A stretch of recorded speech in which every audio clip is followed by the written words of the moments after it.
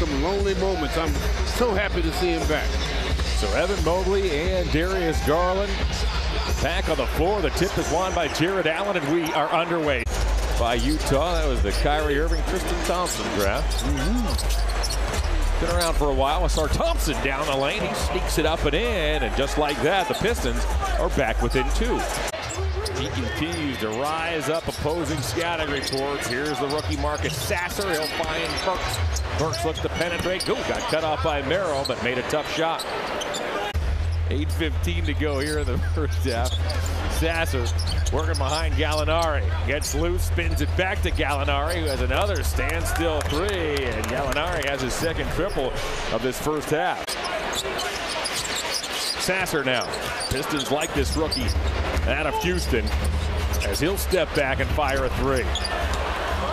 Deal to Sasser. Sasser tries to shake on Okoro. Now uses a Duren screen. Sasser off balance, switch hands, rebounded by eventually Jarrett Allen. That one-on-one defense, very solid. Sam did a solid job of keeping everything in front of him on that play. The Cavs have really turned things around. Burks pulls up. Oh, is that a confident stroke out of the 13-year veteran and the Pistons? We talked about the defensive surge late. They also protected the basketball. The Cavs did not commit a single turnover the final 11 minutes and 43 seconds.